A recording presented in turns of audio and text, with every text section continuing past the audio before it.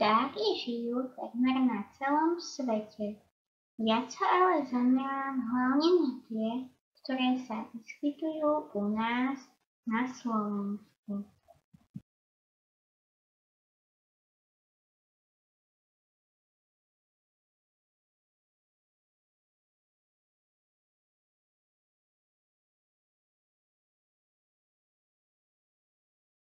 Vodné vtáky žijú najmä pri vodných plochách.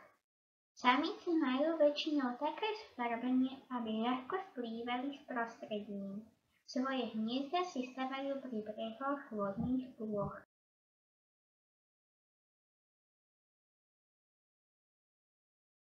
Samec je pestrofarebný a samica splývajúca s prostredím. Žijú na vodných plochách, kde sa dajú ľahko pozorovať.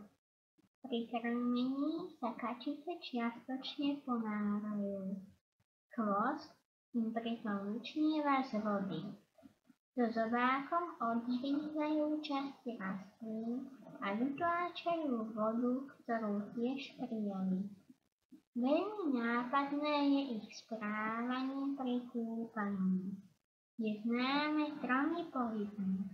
Podobením hlavy, potom prudké bytie krídlami na hladinu, nasledované prevrátením sa do vody smerom dopredu.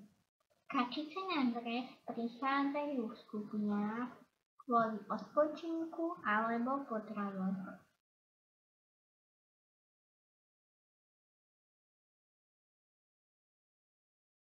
Dravé vtáky žijú najmä v horách. Sú to mesožravé vtáky, hniezdia na bralách a horských štítoch, ale aj na stromoch. Ich zobák je zahnutý smerom nadol.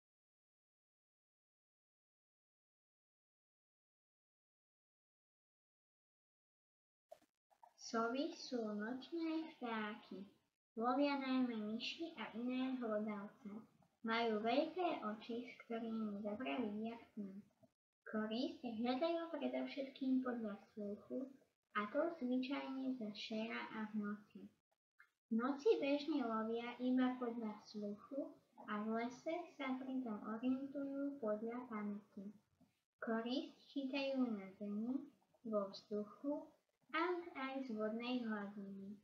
Počas ľahkého a tichého letu je nápadná ich veľká hlava a krátky zaokrúhlený chvost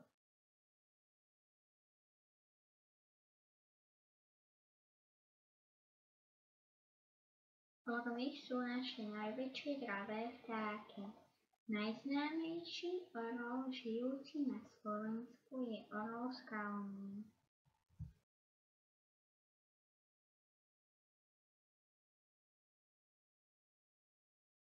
Spevavce sú vtáky, ktoré môžeme pomerne ľahko vidieť aj v mestách. Patria k nim všetky druhy síkoriek, hýľov, drozdov aj vrabcov.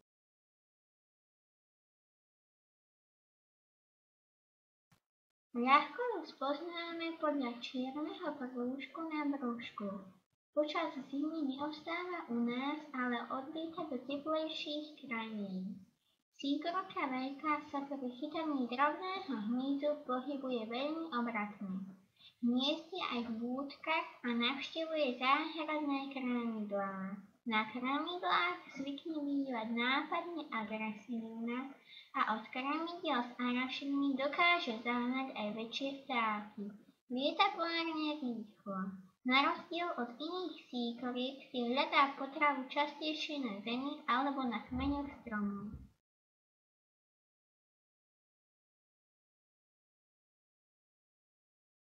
Naše populácie sa nachádzajú v horských lesoch skoro na celom Slovensku približne od výšky pol kilometra až po hornú hranicu lesa.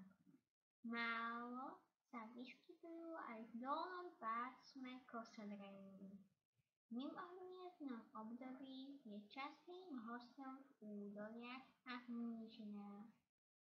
Je stály a prehliezavý